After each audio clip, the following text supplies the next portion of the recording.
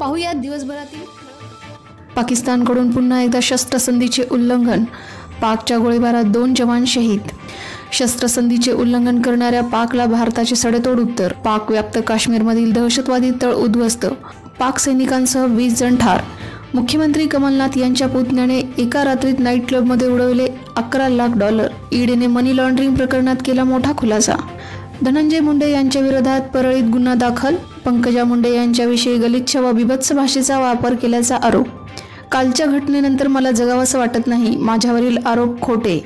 धनंजय मुंडे यांच्याकडून त्यांच्यावरील आरोपाचे खंडन. येत्या अठ्ठेचाळीस तासात राज्यात मेघगर्जनेसह जोरदार पावसाची शक्यता. हवामान विभागाने वर्तवला अंदाज. आचारसंहिता काळात राज्यात आठ कोटींची रोकड जप्त.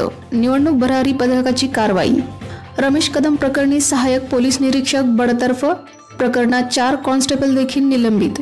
पंतप्रधान नरेंद्र मोदींच्या हेलिकॉप्टरचे फोटो काढल्याप्रकरणी दोघांची चौकशी. महाराष्ट्र एटीएसची कारवाई.